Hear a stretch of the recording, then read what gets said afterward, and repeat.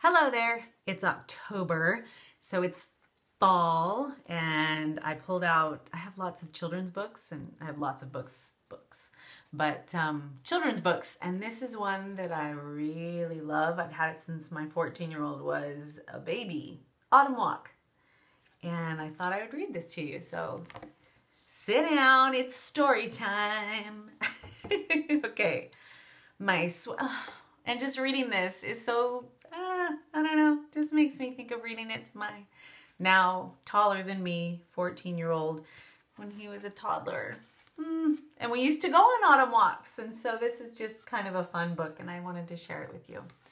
Autumn Walk by Ann Burg, illustrated by Kelly Asbury.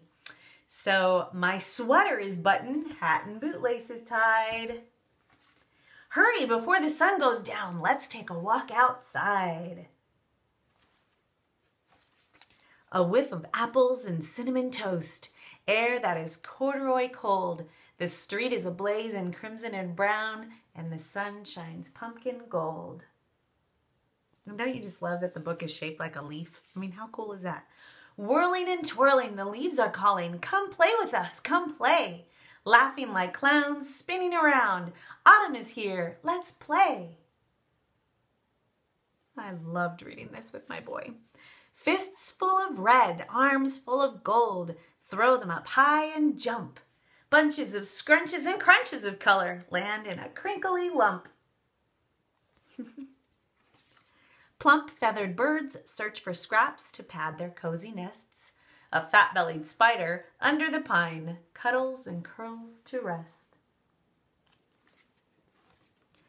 Bushy tailed squirrels scurry to find acorns and nuts to hide. The chill in the air shivers my bones. It's time to march inside. Crackle, rustle, crinkle, and crunch through a, the cozy, darkening day. Crackle, rustle, crinkle, and crunch. Autumn is here. Hooray!